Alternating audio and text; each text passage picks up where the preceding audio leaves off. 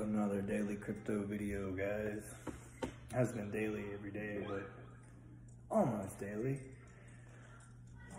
I'm about wore out, had to rip a tile floor. It was like heated floor and the, the wire in it was like rebar.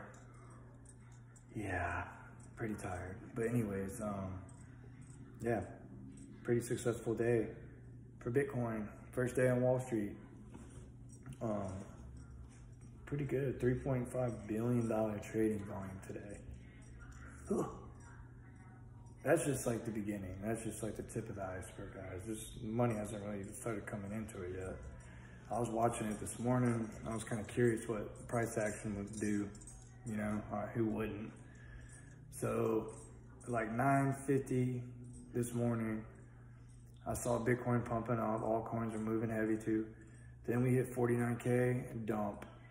I, almost called it. And if you watch my channel, you would have probably been, you know, had that been prepared for that because I called that. I said, you know, I feel like when we hit 50 to 70K, I feel like we're going to get a pullback. And what happened?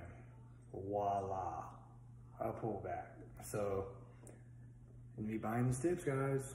Hate to be beating a dead horse, but I say it every video. These pullbacks, I mean, they're in the early in the bull market, you know? And I don't know what this ETF is gonna do, you know? Like, I'm starting to see, I saw Grayscale, literally, like when I was looking up this stuff this morning, as soon as uh, I pulled my phone up, I saw a Grayscale ETF ad. I'm like, wow, it's already marketing war and all this stuff I've been talking about in my other videos. Yeah. And Coinbase and Crypto.com and all these uh, Binance and stuff, they're all having their ads and stuff too just crypto everywhere. Crypto, crypto, crypto, crypto, crypto, all in my face. Crypto, crypto. Yeah, that's how you know we're in a bull market. And um,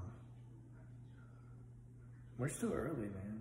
Way early. I'm like, I'm just chilling right now. I'm not really worried about building my portfolio, but I am kind of like, man, I might make a little small buys if we see big crashes, you know?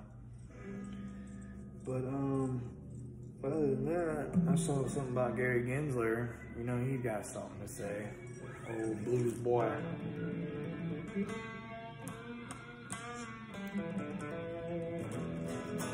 Yeah, he's uh, he he made something. He said something about. Uh, yes, although the SEC does approve the spot Bitcoin ETF, we do not endorse Bitcoin. Hmm. Yeah, I have to protect people. Yeah, I had to say that, bro. You know, he was probably on the phone all day. People were calling him like, bro, why did you, why did you approve the ETF? You fucked my money up, bro. Like, why, what's going on? Yeah, um, look, man, these Congress guys, they were just like, uh, just, they had a boot on my neck, bro, and I just really couldn't do much. I had to take a knee, and I had to, you know, suck Bitcoin's D. I just, I hate to say it, bro. But I did make a tweet and I said that I didn't like Bitcoin. Yeah.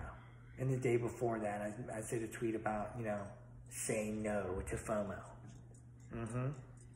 It's going to protect so many investors. Yeah. Yeah. Trust me, they won't buy Bitcoin. Trust me. Mm-hmm. Never have them. Oh, yeah. Yeah, that was scary all day today. So, yeah pretty much he's salty.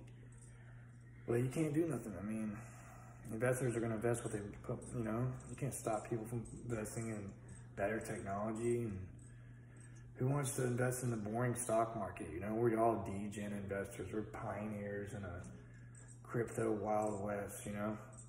It's not really wild west anymore. I mean, now we're starting to see regulation. We got a regulatory approval of a Bitcoin spot ETF. It's officially like a digital asset class now. Like, it shouldn't even a joke no more. Like, when Wall Street boys got exposure to Bitcoin now. So, that's pretty monumental, guys. Like, wow. Day one, Bitcoin ETF opening, $3.5 billion trading volume. And like I said, um, if you watch my channel, you, you, you already know what I was talking about, about the 50K pullback. I knew that was going to happen. 50 to 70K-ish area, I knew we were probably going to have a big, not a big pullback, but we might we're probably gonna consolidate, and move sideways for a little while, in my opinion, and um, I'm not sure we we, we, we could hit a new all time high before the halving. That just kind of worries me because if you look at the four year chart, that might push the the bull run a little shorter. The ETF might have threw things off out of equilibrium, you know, off the four year cycle, but this might be a different cycle. I mean, this one, like I've heard people talking about a super cycle and all this stuff. I don't really, you know, I'm not an expert in crypto. I just, I, have had exposure to it. Just, I've been a survivor of three bear markets. So, yeah, I've been rug pulled. I've been, had wallets hacked. I lost like everything I had to Celsius. So, yeah, I had to rebuild from the ashes this past year. I've been buying the dips, buying the dips, buying the dips, buying the dips. And now I'm, I'm still here buying dips. So, yep. Dang, dropped my pick. But, other than that, Algorand and Hedera, they uh, they got a big partnership going on now. I'm probably gonna make another video on that because